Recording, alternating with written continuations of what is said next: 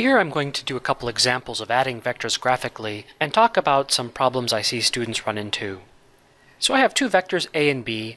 A has a magnitude of 3 meters and it is pointing directly northeast. Vector b has a magnitude of 2 meters and it is pointing directly east and I want to add a plus b. So using the tail to tip method, I'm going to leave the a vector where it is and I'm going to translate but not rotate the vector b so that the tail of b is at the tip of a. Next, I take my resulting vector is going to be the one starting from the tail of A that goes to the tip of B. And so now I want to find the magnitude and the direction of this C vector, C. So I'm going to use basic trigonometry to do this, in particular the law of cosines and sines. And so if that is not familiar, you will want to brush up on that as well. So I know that the length of this side of this triangle is 3. I know the length of this side of this triangle is 2. And I know one interior angle. I know that this angle here was 45 degrees because the A was pointing directly northeast, and so each side was 45 degrees. So this is a right angle there, and so if that's 45 degrees, then this is 45 degrees, which means this angle is 180 minus 45 degrees, and so that angle is 135 degrees. Let me call that theta, and so I know theta is equal to 100 and 35 degrees. So I can now find the length of C using the law of cosines because I have two angles and the sorry, two sides and the angle between them. The length of side C, which is the magnitude of the vector C, C squared, is equal to A squared plus B squared minus 2A times B times cosine of the angle theta. And this is important for this formula to work, this angle is opposite this side C. So I've put all in those numbers. a squared is 9, b squared is 4, 2ab cosine of 135, which happens to be negative 1 over the square root of 2. Putting that in my calculator, I get 21.4852, and so c, which is the square root of that, is then 4. 63522. And so I'm going to leave all those digits in there for now. So I have the magnitude of C. Well, that's good, but now I need the direction. How do I find the direction? Well, what I want is, is this angle right here, but I don't know how to find that, but I can find this angle here. Because it's just part of that triangle. In this case, I could use the law of cosines again. But I could also use the law of sines, and so I'll do that this time. So the law of sine says if I call this angle phi, the law of sine says that sine of phi over the length of the side opposite it, which is b in this case, is equal to sine of 135 divided by the side opposite it, which is c solve this. Sine of phi is b over c times sine of 135. If I put in values for that, 2 over 4.635222, and I'm keeping those digits so I don't have rounding errors. Sine of 135 is 1 over the square root of 2. Well, I know 2 over the square root of 2 is just the square root of 2, so I'm going to do that now. That helps I don't plug in so many numbers into my calculator if I can do some of this ahead of time, and it decreases the risk of calculator error. And now I take the inverse sine of that, and I find that phi is equal to 17.76. Remember that that's not the angle I'm looking for. That's this angle, and what I want is this angle, which I'll call alpha, which will tell me the degrees that C is north of the direction east. That's easy enough because I know that this angle right here is 45, and so alpha is going to be 45 minus phi, which is 27.24. So my final answer is C has a magnitude of 4.64. I'll bring it down to three significant figures for my final answer. And a direction of 27.2 degrees north of east. Now, I should say, watch out for the law of sines. I've redrawn my triangle here. I had A, B, and C with those values and these two interior angles. What happens if we try to check our work and go back and try to solve for theta?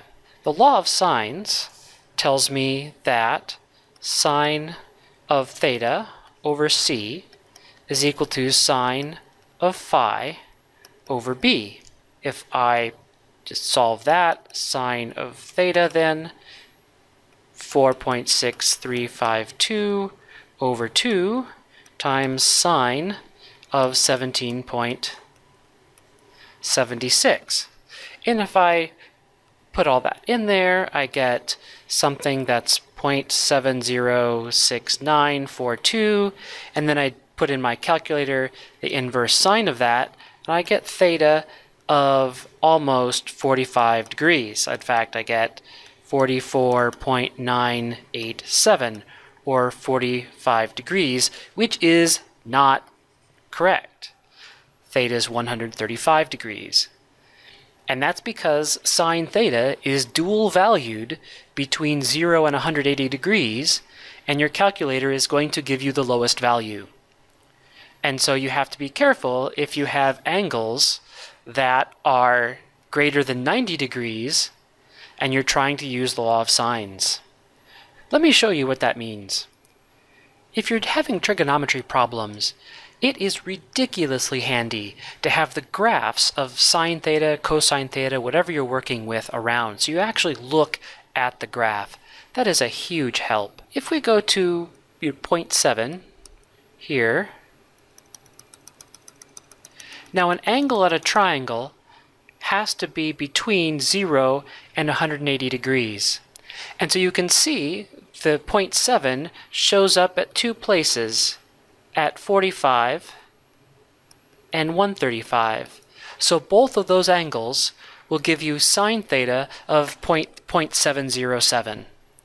And so your calculator is usually not going to give you both values. There's an infinite number of solutions to that to that question, but there's two of them between 0 and 180, which are the key, uh, which is the range for angles in a triangle and since it's going the calculator will give you one of them it will give you the lower one. So you have to be aware of that. So if you have an angle greater than 90 degrees the answer is the larger one.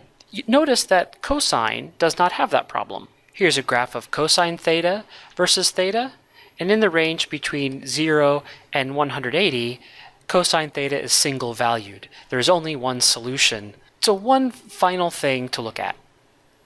I have two vectors, vector A, 3 meters, 60 degrees north of east, and B, which is 1 meter, 30 degrees west of south.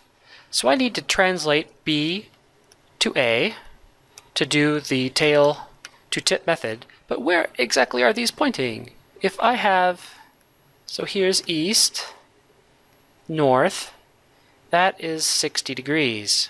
This is south, west, so that's 30. Where is that? If I just extend A here, that angle is 60, like the same as that. That means this angle is 30, and so that angle is 30. 30 degrees west of south is in fact exactly on along this line. So when I translate B onto A, it is going to go exactly back on the line that contains A. So sometimes you have to be careful about your trigonometry or just your geometry to make sure that the uh, vectors line up in the right place. And so now the math is really pretty easy because I know that this full length is 3 meters, this is 1 meter, and so the resulting vector goes from the tail of the first vector, which is A, to the tip of the second vector, which is B. And so my result, C, has a magnitude that's just 2 meters, because it's in a line, and a direction that's in the same direction as A, which is 60 degrees north of east.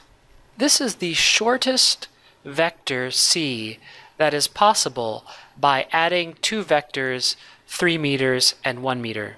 If I have two vectors A and B, the minimum value of the, the magnitude C is the absolute value of the difference of their magnitudes. 3 minus the magnitude 3 minus the magnitude 1 is 2, so 2 is the minimum value that C can have.